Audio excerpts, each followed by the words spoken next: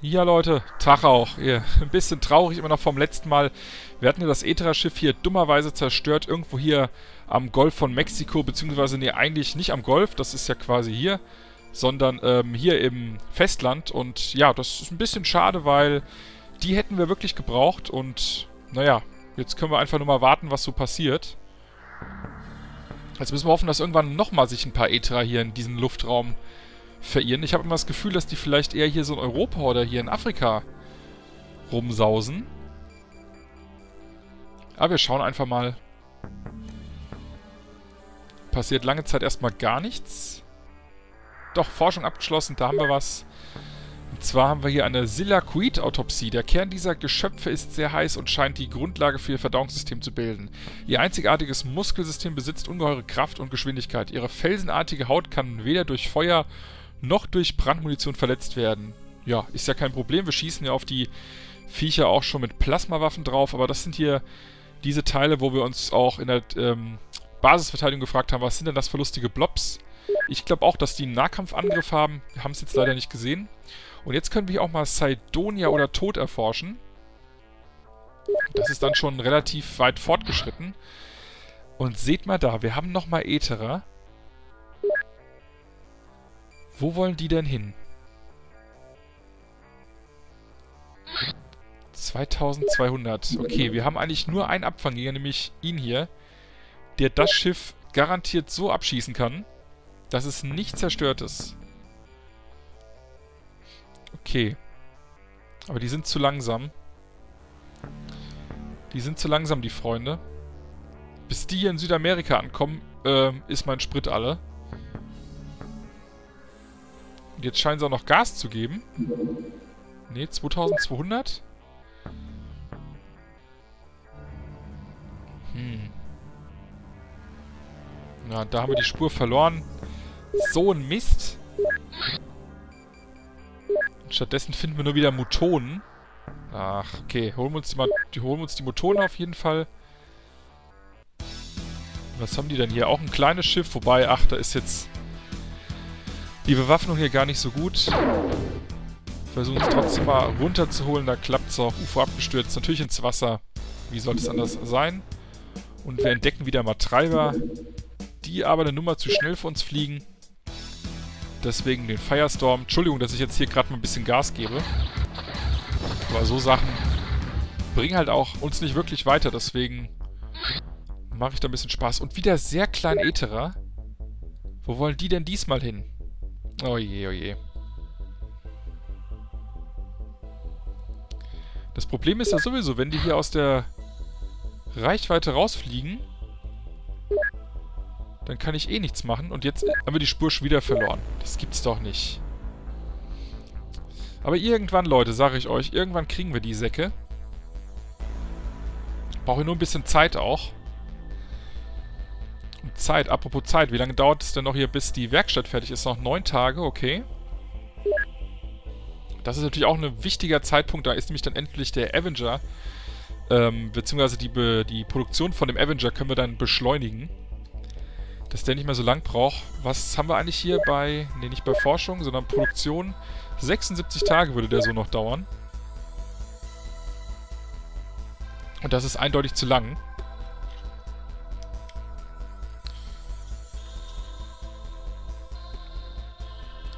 So, hier passiert gerade nichts. Aber auch wirklich gar nichts. Forschung abgeschlossen. Doch, hier haben wir was. So, Sidonia der Tod. Es ist inzwischen deutlich geworden, dass die außerirdischen Horden von einem unterirdischen Stützpunkt in Sidonia aus gelenkt werden. Einem ungewöhnlichen Gebiet auf dem Mars mit fünfseitigen Pyramiden und einer großen Formation, die einem menschlichen Gesicht gleicht. Die Sydo sydonische Zivilisation lebte vor Millionen von Jahren auf dem Mars, doch wir wissen nicht, warum sie ausstarb oder welche Verbindung zu den neuesten Aktivitäten der Außerirdischen besteht. Auf jeden Fall müssen wir eine Expedition nach Sardonia durchführen. Nur so können wir die Außerirdischen besiegen. Wir müssen das Gehirn vernichten, das sie steuert. Wir werden ein Avenger-Raumschiff mit den tödlichsten Waffen brauchen, die uns zur Verfügung stehen. Hier kommen wir nicht weiter. Wir müssen den Ausgang des Angriffs auf Sardonia abwarten. Okay. So, und ich weiß jetzt, dass ich bei diesen Projekten, dass da teilweise auch gerne mal sich hier alles aufhängt. Deswegen lasse ich das mal und erforsche aktuell mal nichts. Und hol stattdessen wieder lieber hier ein paar Treiber runter, die hier wieder meinen Stützpunkt erspähen wollen. Ja. Etwas verzögerter zweiter Schuss, ein bisschen komisch eben gewesen.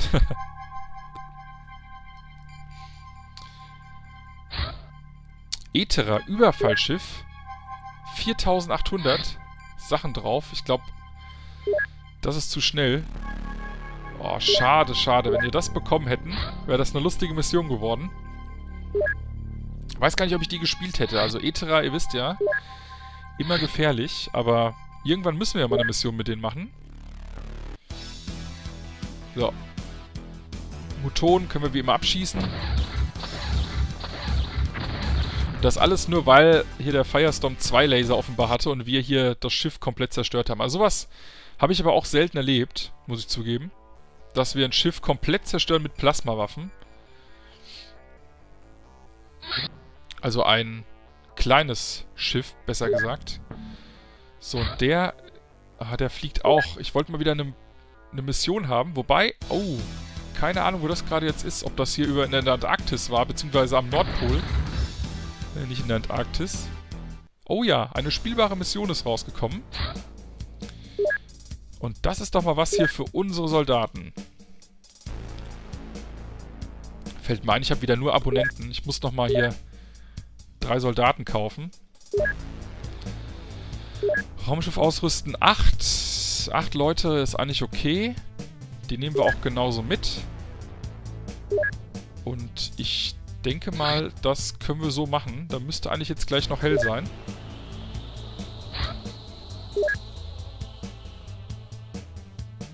Viele wollen ja auch mal eine Nachtmission sehen. Uh, ich hoffe, wir sehen jetzt keine. War auf jeden Fall ein bisschen knapp. So, Igor von Lang. Das sieht eigentlich alles ganz gut aus. So viele Alien-Granaten brauchen wir in der Regel nicht. Eigentlich brauchen wir auch gar keine, wobei, wir nehmen sie mal mit. So, dann sehen wir jetzt hier mal ein anderes Set. Das ist nämlich hier die, die, das Eisset quasi, was immer in der Antarktis oder am Nordpol geladen wird.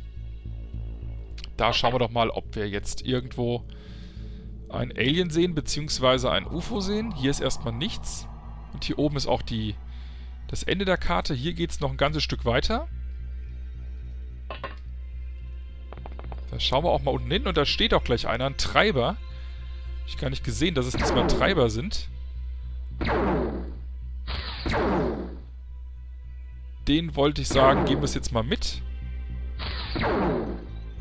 Ach, das ist aber auch ganz knapp verfehlt und da schön Treffer gelandet, der nur ich bin wirklich okay. Grey Unicorn. Der geht mal bis zum Fahrwerk runter.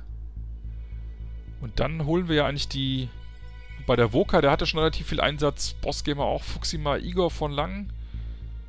Thunder News, den mag ich eigentlich auch mal ganz gerne. Trifft immer sehr gut.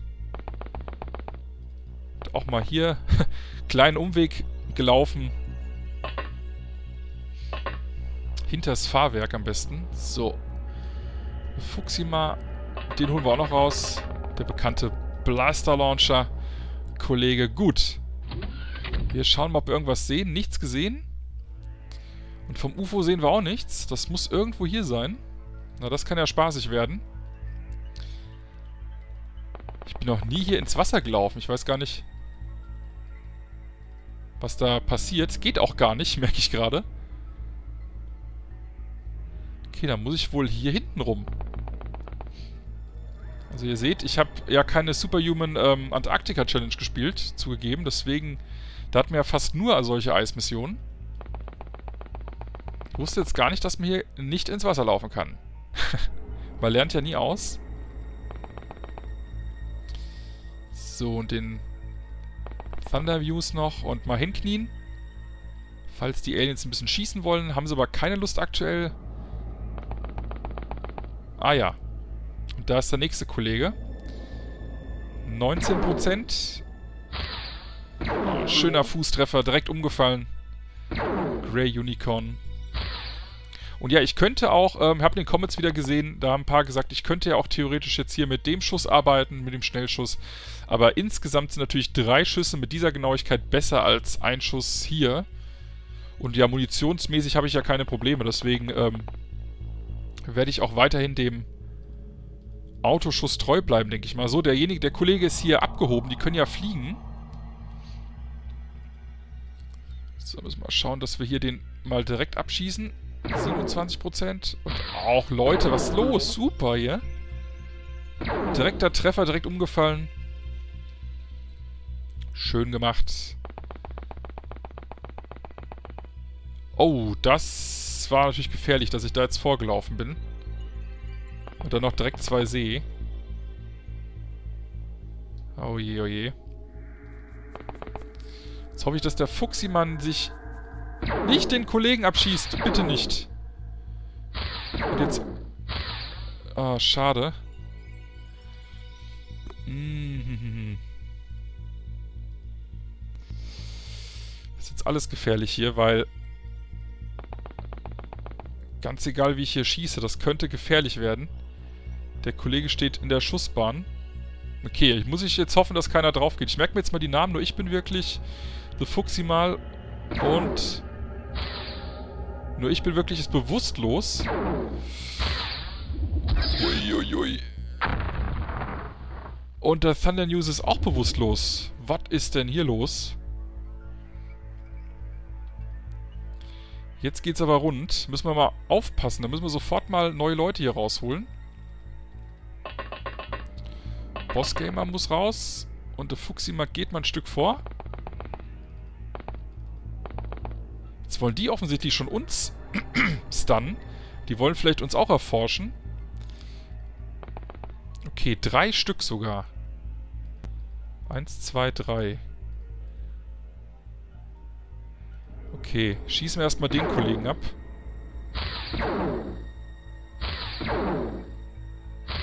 Zwei Treffer ausgehalten, das gibt's doch gar nicht. Drei Treffer. Jetzt ist er aber gestorben.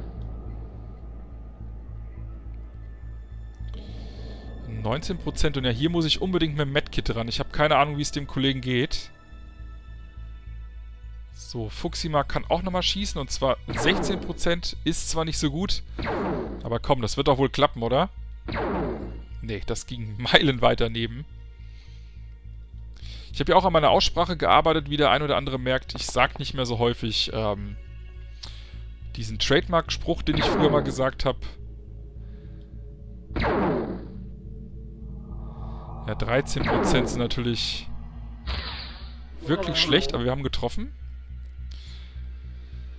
So, und Igor von Lang wird jetzt mal hier direkt mit diesem Pack hier hingehen und hoffentlich nicht getroffen werden.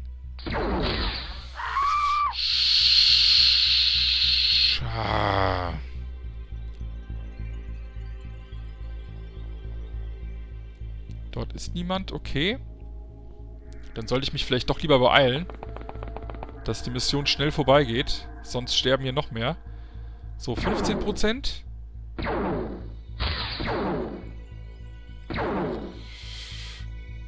Wow. Ich mache die Schusslinie ein bisschen frei für die Kollegen. Das heißt, wir gehen noch ein Stück weiter nach vorne und sehen noch einen. Oh, da hinten ist noch einer. Boah, Mann, ey.